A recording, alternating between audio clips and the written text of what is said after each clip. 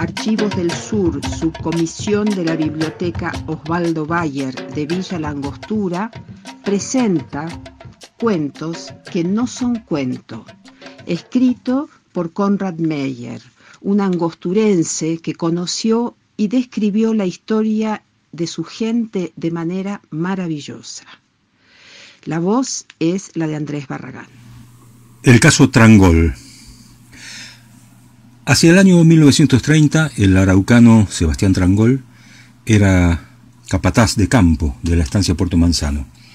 Antiguo poblador, existe mención de su presencia en el lugar en la crónica de un viajero que visitó la zona hacia 1903.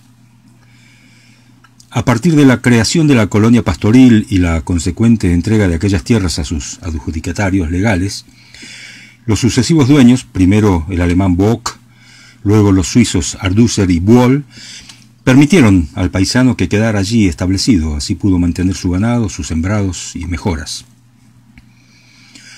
Cuando en 1921 la propiedad fue adquirida por el escocés don Ernesto Jewell, este nombró a Trangol capataz y encargado y desde entonces velaba por sus propios intereses y los de su patrón, quien le dispensaba total confianza.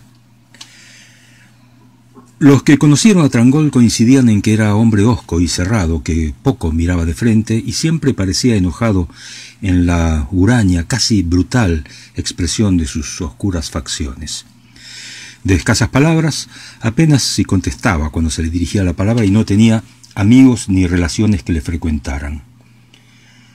Sin embargo, era correcto y formal y a su manera se entendía bien con el señor Jewell y también con don Hermann Fromherz, un alemán que a su llegada a la región trabajó como peón en Puerto Manzano. Parece ser que en realidad Trangol y don Hermann se entendieron a partir de una salvaje pelea que mantuvieron, según se dijo, que por alguna razón se trenzaron a palos armados de sendos estacones de madera, cierta mañana en que se encontraban ordeñando las vacas, y se dieron mutuamente de garrotazos hasta que intervino el patrón, don Jewel, quien logró separarlos luego de disparar varios balazos de advertencia por encima de sus cabezas. Golpeados, contusos y sangrantes, desde ese día se llevaron bien, o por lo menos se toleraron, el rudo araucano y el no menos duro campesino de la selva negra. No se le conoció mujer a Trangol desde que la que tenía se fuera en sangre durante su quinto o sexto alumbramiento, dejándole viudo y a partir de entonces vivió con la sola compañía de sus hijos. Cuando sucedió la tragedia, la mayor de las niñas, que era sordomuda, tendría unos 13 años de edad. Andaba don Herman una tarde, tras las lecheras, por la costa del lago, cuando advirtió un bulto que se mecía suavemente, medio sumergido, cerca de la playa. Al acercarse vio que se trataba de un cuerpo. Desmontó rápidamente y al sacarlo reconoció a la pequeña muda de Trangol. Olvidó las vacas, cruzó a la niña muerta sobre su cabalgadura y emprendió el regreso al galope. Nada se alteró en el semblante de piedra del padre, ni expresó palabra alguna mientras entre ambos bajaban el cuerpecito y lo depositaban en el camastro. Don Herman no dio demasiada importancia a tal actitud, ya conocía lo suficiente al indio como para saber que parecía incapaz de demostrar emoción o sentimiento alguno. Volvió a montar y galopó hasta el destacamento policial de Correntoso. Con el agente que le acompañó, pasaron por los corralitos, pensaron en llevar a la partera, doña Emma. A falta de un médico, ella podría por lo menos dar una opinión.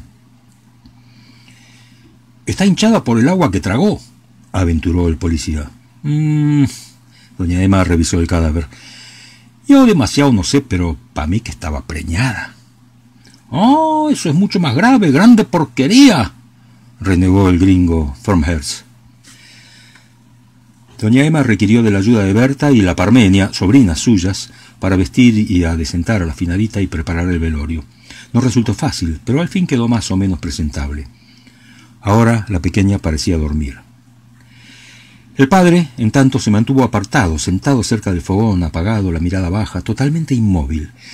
Los hermanitos, poco acostumbrados a tanto trajín, parecían animalitos asustados. Un perro gemía en su rincón. Don Herman llamó aparte a doña Emma y al policía. Si chica preñada, mejor hacer algo, porque quién sabe. De eso estaba pensando, dijo la gente y miró de reojo a Trangol. Justo pasa esto ahora que el patrón está en Buenos Aires. Decidieron mandar aviso al destacamento de Nahuel Huapi y un vecino voluntario partió a revienta caballos.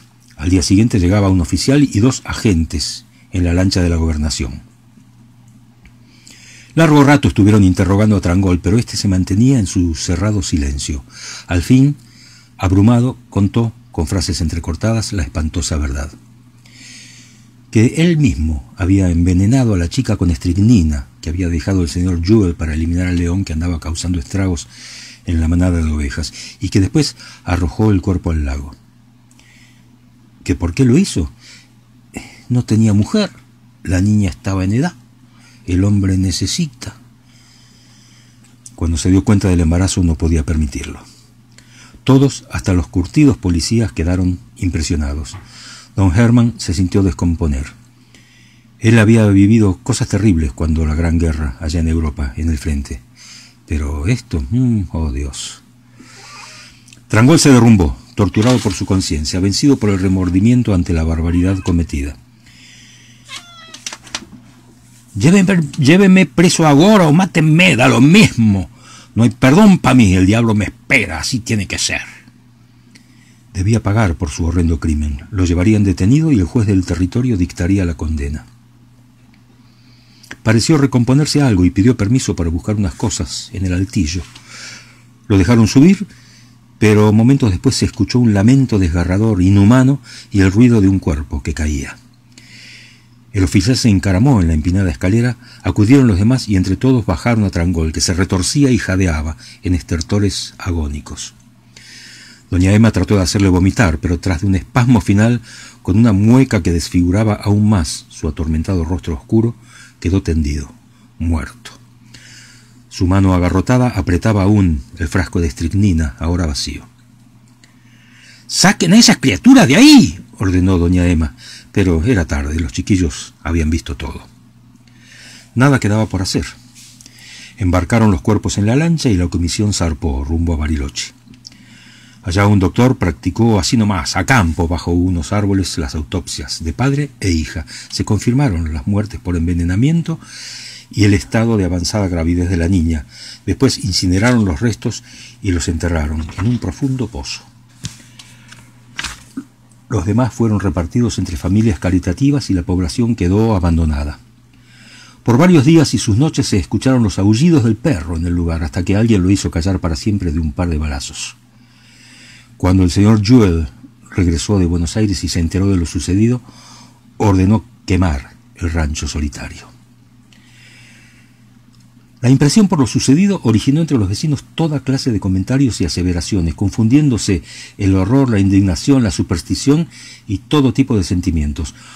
Por mucho tiempo se comentó entre los pobladores que en realidad el cuerpo de Trangol había permanecido intacto a pesar del fuego en aquel hoyo en que fuera incinerado y sepultado, que el mismo demonio, asqueado, se había negado a recibir su alma negra en el infierno, que se encargó de desenterrarlo y amarrándolo a un tronco lo arrojó al Nahuel Huapi condenado a flotar a la deriva por la eternidad, picoteado y desgarrado sin cesar por los pájaros carroñeros, verdugos de aquel suplicio sin fin. Navegantes del lago sostenían haber distinguido en repetidas ocasiones, allá lejos, entre las olas, un bulto que emergía del agua y que unas grandes rapiñeras negras lo sobrevolaban y se posaban encima. Nunca alguien se atrevió a acercarse y por muchos años los pobladores guardaron viva memoria de aquel tenebroso episodio, el crimen y suicidio del araucano Sebastián Trangol, capataz de la estancia Puerto Manzano. Presentó Archivos del Sur. Para comunicarse 0294 154 32 45 85 o al Facebook de la Biblioteca Popular Osvaldo Valle.